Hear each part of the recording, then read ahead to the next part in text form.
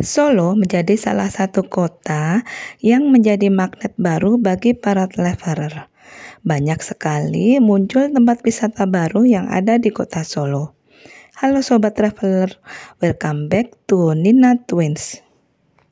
Kali ini kita akan mereview tempat wisata terbaru di kota Solo. Bagi kamu yang baru berjumpa dengan channel ini, jangan lupa klik tombol like dan subscribe-nya agar Anda tidak ketinggalan video terbaru dari kami. Berikut adalah 6 pilihan wisata yang ada di Solo terbaru 2023 yang wajib kamu kunjungi saat berada di kota Solo. Yang pertama adalah Puro Mangkunegaran. Puro Mangkunegaran adalah museum wisata yang ada di Solo. Di museum ini terdapat edukasi budaya melalui pertunjukan tari, wayang, dan gamelan.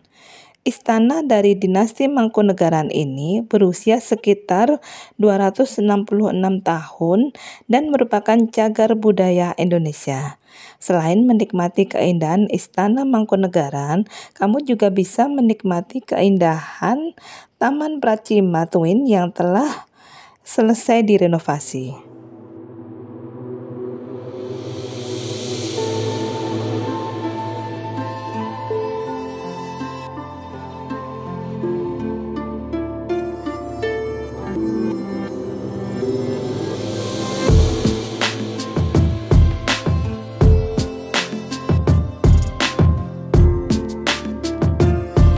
Destinasi wisata yang kedua yaitu Solo Safari.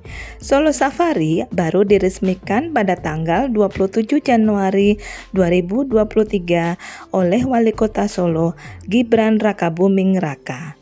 Di Solo Safari, kamu dapat menyaksikan satwa liar secara langsung di alam bebas dan merasakan sensasi bersantap makanan ditemani oleh satwa.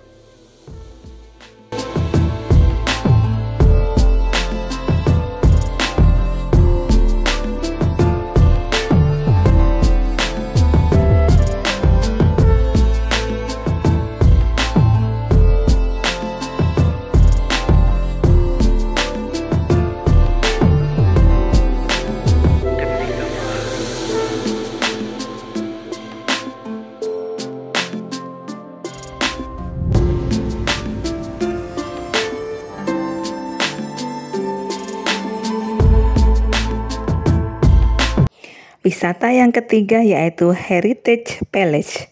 Salah satu cagar budaya wisata yang ada di Solo lainnya adalah The Heritage Palace.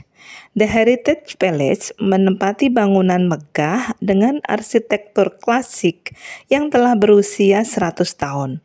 Selain berfoto di spot-spot instagramable, kamu juga dapat mempelajari sejarah dan budaya kota Solo.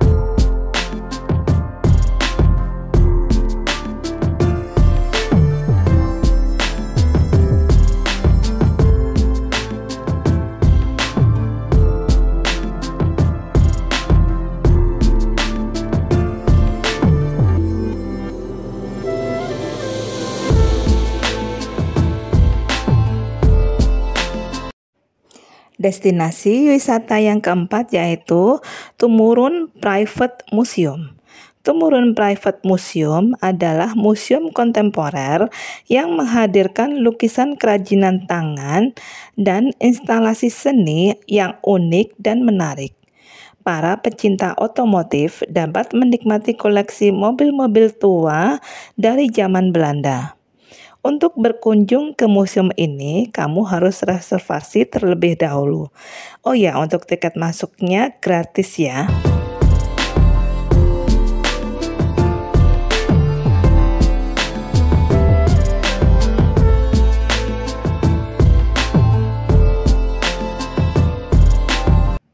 Yang kelima adalah Ngarsopuro Night Market.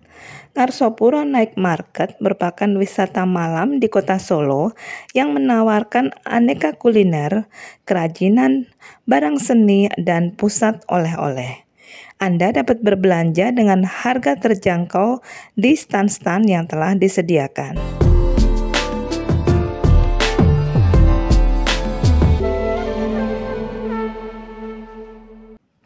Destinasi wisata yang terakhir yaitu Fort Furstenberg.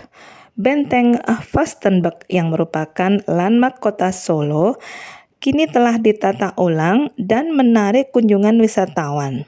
Tempat ini sering digunakan untuk acara festival, konser, dan pertunjukan seni. Tempat wisata di atas dapat Anda nikmati dengan harga tiket yang terjangkau. Kamu tinggal pilih tempat wisata mana yang akan dikunjungi dan budgetnya tentunya. Demikian review singkat tempat wisata Solo terbaru 2023. Semoga bermanfaat dan bagikan ke teman Anda yang membutuhkan informasi ini. Sampai jumpa.